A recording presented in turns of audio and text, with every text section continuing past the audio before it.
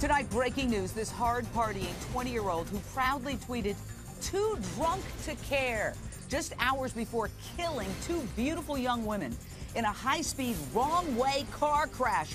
She's finally arrested, finally forced to face a judge and the victims' families.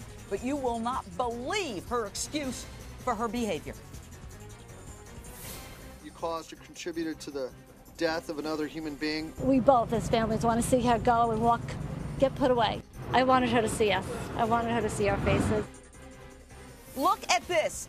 That is suspect Kayla Mendoza hiding her face under a blanket as she's wheeled past the family members of the two young women she killed. Is she too cowardly to face the families whose lives she destroyed? Cops had to wheel her into jail because she still can't walk after suffering two broken legs and a brain injury from the accident that she caused. Cops say the 20 year old self proclaimed on Twitter as a quote, pot princess was allegedly drinking with coworkers at a Florida bar five months ago. After one in the morning, cops say Kayla hopped into her car and went speeding the wrong way down the freeway at more than 80 miles an hour. She collided head on with another car, killing these two beautiful young women. Marisa Catronio and Kaitlyn Ferrante, both just 21. Even more outrageous, Kayla infamously tweeted less than three hours before that deadly crash, quote, too drunk to care. Well, I wonder if this defendant cares now, now that she's allegedly killed two people, now that she's landed herself in jail with a brain injury and broken legs.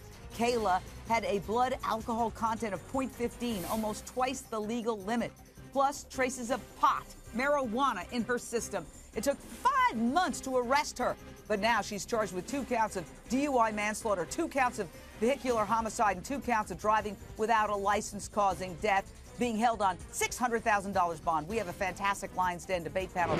But first, I want to go out to my very special guest, the father of one of the victims, Gary Catronio. Sir, I am so sorry for your loss. This woman accused of killing your daughter and her best friend, I have to tell you now, uh, and, and this is disturbing, she's now claiming that she was slipped something and that, oh, it wasn't her fault that she was drunk. Does that infuriate you? Um, that doesn't make me uh, doesn't make me happy. Okay, I mean the facts are the facts. The blood alcohol level was almost two times. She had traces of marijuana in her. Um, it, it, it's devastating for anybody to even make a comment like that with all the research and investigation that went into this to make this arrest. That we're so grateful that finally happened. It took five months, though, Gary. Did that upset you and the other family that that it took so long for even the first step of justice? The reason the reason it didn't upset me is I knew right out of the get go is that this would be a long haul. Actually, I thought it was a shorter time than they anticipated, but I knew that the hours to get everything correct was going to be worth the while on the end result, and and it was. It was worth the while on the end result here. Uh, there's over 900 pages of reports that were put together to, to make this arrest. Well, I, I certainly hope you get justice, Gary. Uh, if you could stand by for a second, Kayla was only 20 years old at the time of this accident, way too young to be drinking legally in a bar.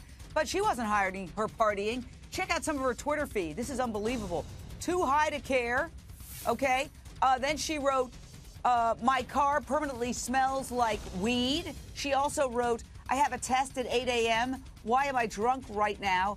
And we have just obtained this brand new Vine uh, that was taken in the months leading up to this horrific crash where uh, this young woman is drinking and uh, she's sort of bragging about all the beer she's drinking.